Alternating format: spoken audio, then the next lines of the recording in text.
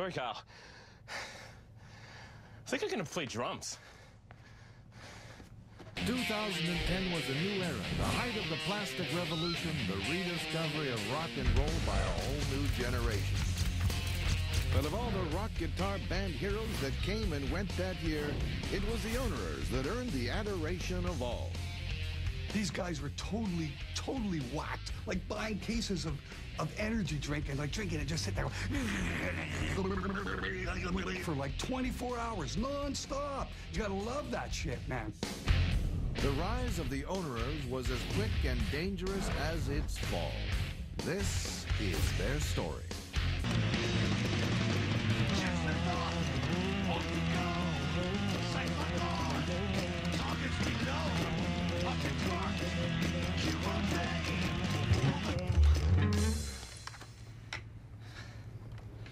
This would be like, it's like no problem.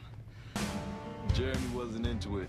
So when I seen this dude who looked like he was straight out of Guns N' Roses or some shit, waiting at the bus stop, I was like, hey, dude, you play guitar? Guy comes up to me and says, like, do you play guitar? And it's like, yeah, no kidding, man. Like, look.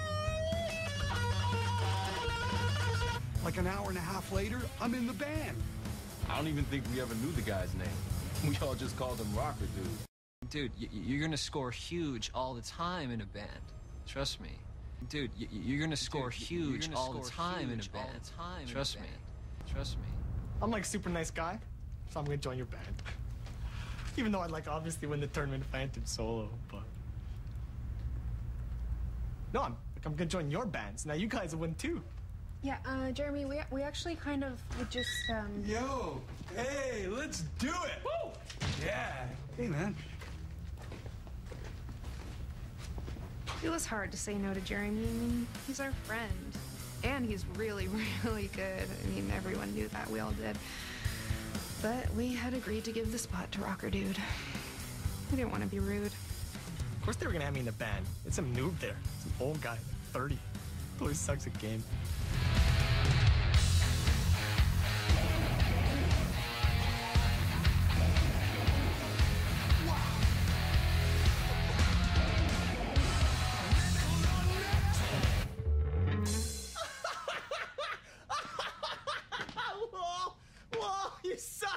This guy sucks.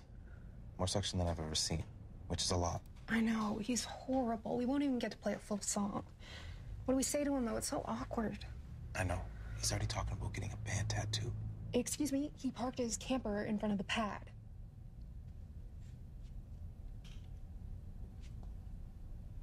Oh, we could lie.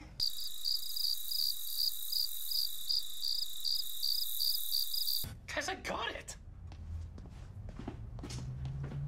Fuck off, dude.